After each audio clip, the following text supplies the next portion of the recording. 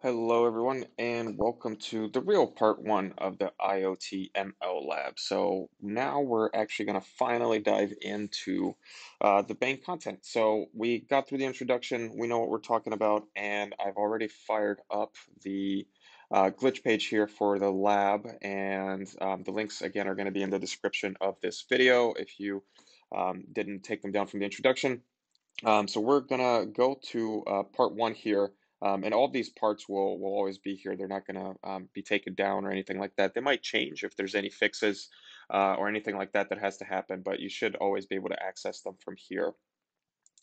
So we're gonna dive into part one, um, which is gonna be uh, pretty basic. It's gonna be our introduction to Vue. So when we first go to the project page here, we've got a couple of options. So I think by default, it's just going to run uh, the app here in this window, and then there will be um, a dynamic render of the README. So you can either, um, you know, expand that and, and read through the details here, or you can uh, go ahead and edit project, which is what we're going to do, just because I, I prefer that environment a little bit better. Um,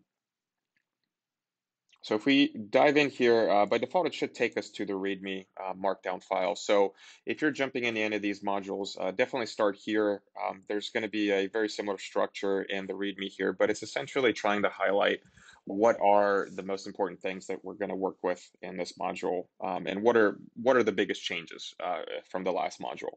Since this is the first module there really aren't uh, so many changes because this is the first time we're using this and we're pretty much starting from a template.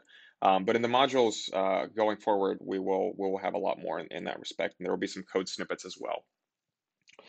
So for this one, like I said, we're just going to scaffold our Vue application. We're going to get up and running and make sure that we can um, work with the basics of Vue, pass data back and forth, stuff like that. So um, this is pretty much almost entirely a generic template.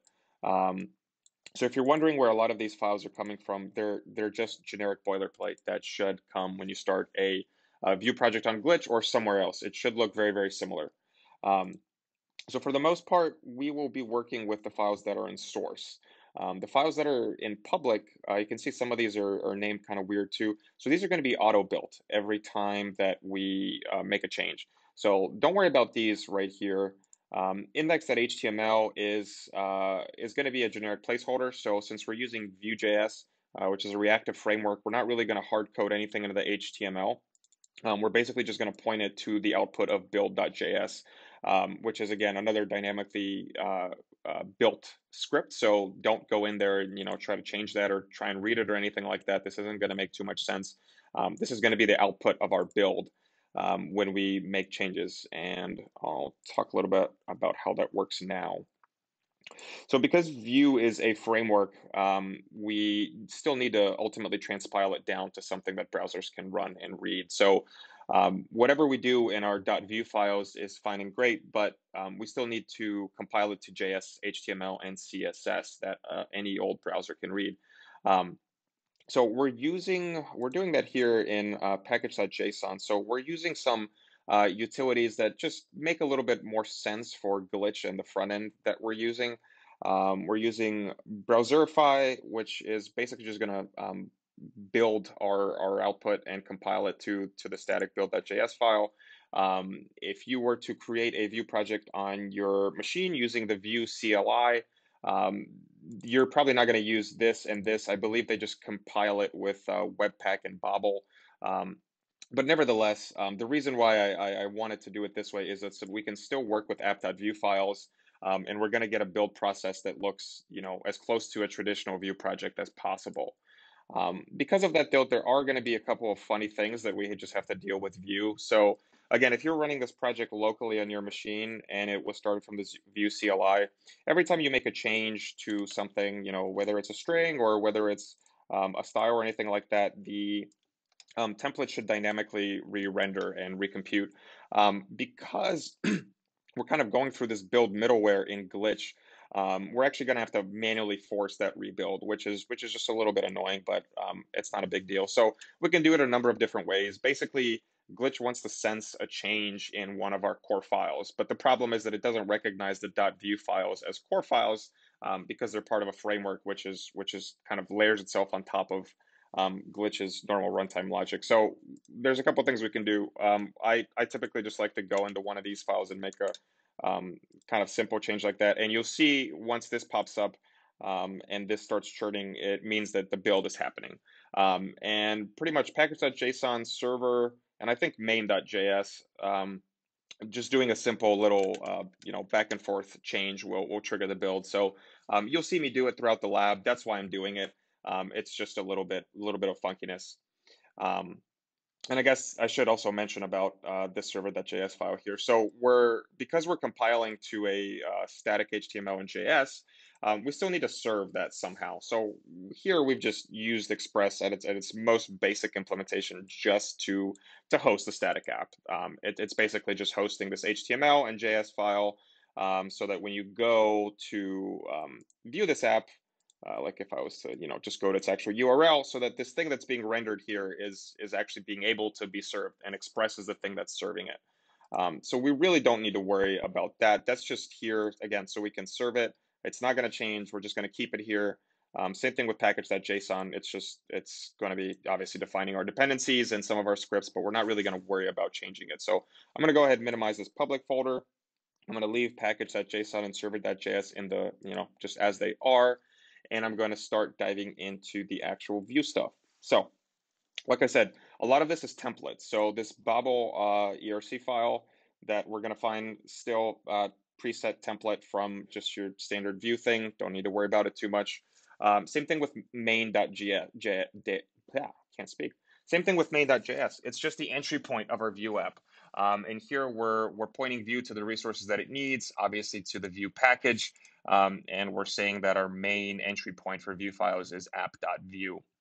And so what this is going to do is that it's going to basically look for this um, ID tag in our uh, public HTML, and that is where it's going to inject our entire Vue app.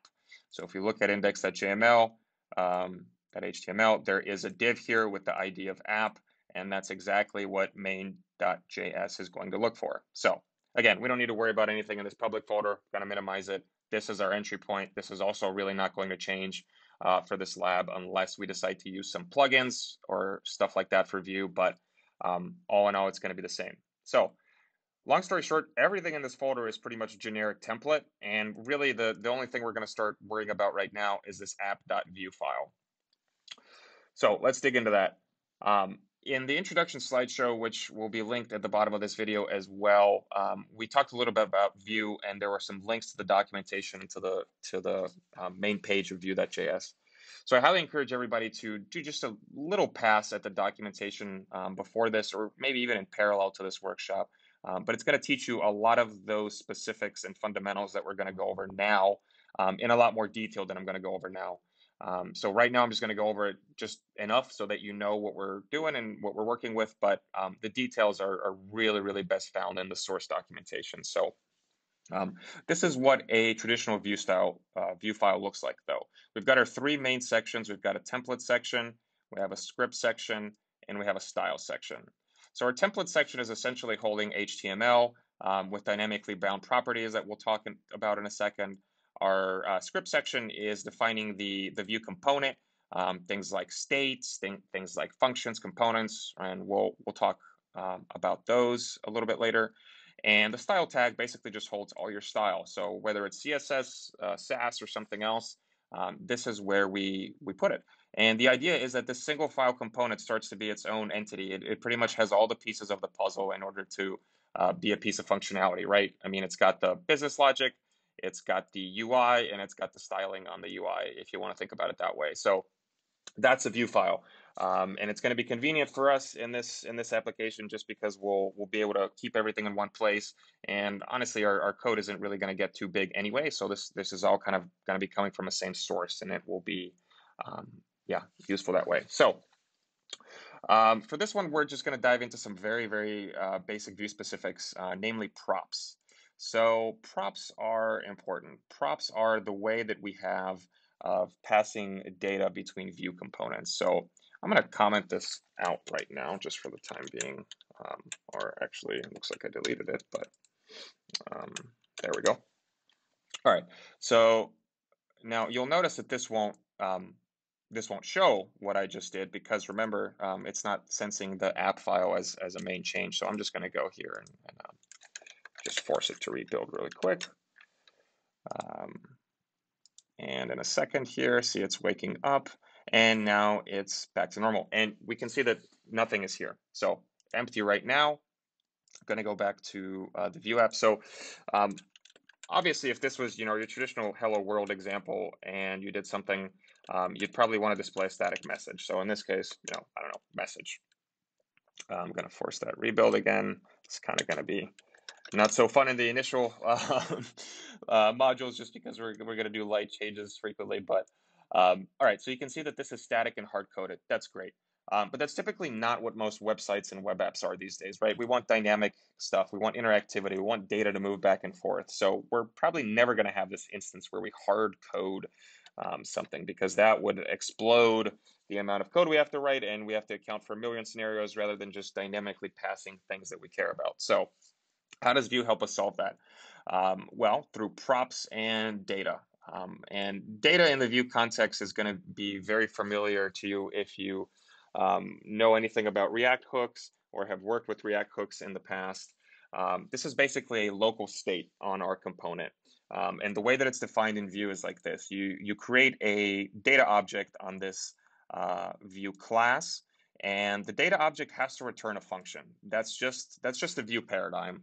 Um, they can explain it a little bit, mm, you know, better as to why that is and, and why that's um, useful. But for our purposes, we just need to know that the data object has to return a function.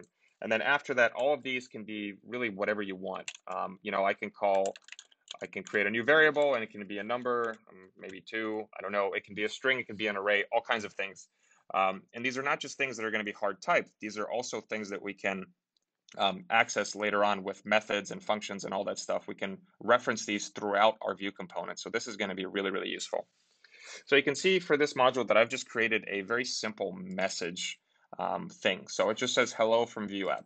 And if you remember our preview, um, you you probably can expect where it's going to show up. So right here, I've, I've turned on my H1 tag again, but um, you can see rather than hard coding my hello from Vue app, I've, I've done this thing. So um, this double curly brace syntax is one way that Vue has of injecting dynamic content to the DOM. Um, so basically what this is going to tell Vue is that we're, we're not passing in a string literal. We're passing a reference to an object that's going to exist somewhere in this component. And in our case, that happens to exist in um, this data object. That's, uh, here we go, message, message. That's what we're going to pull. So if I, again, rebuild this uh, very quickly, uh, think this should trigger the build. It will. Um, if I rebuild this, we can now see that this is going to refresh and it's going to pull that message. So this is essentially how basic reactivity works. And um, it's fine and great in one component, but as we make our app bigger and we start to create more complex logic, these things are going to need to become layered. Um, and again, if you're familiar with other component-based architectures, uh, like React or Angular or something like that, you probably already know that your app isn't going to be one component or two or five or even 10. You know, it, it's probably going to be a lot more than that, um, depending on your architecture. So this is the basics of how we, we start pulling data from the Vue component, but there's a lot more things that we're going to get into. Um, once we start creating new components and we start defining them here, as you can kind of imagine by this uh, you know little placeholder, uh, we're going to use components throughout the, the HTML template as well, and we're going to need to pass data to those components. So that is going to be what our next uh, module is really going to get into. Um, but for now, these are just the Vue basics. Um, you can play around with this, again, remix this if you'd like, um, and uh, see, see what data can do for you, and see, see the amount of functionality that you can get out just from this simple interaction. Um, so that's it for this module, and let's get into the second one.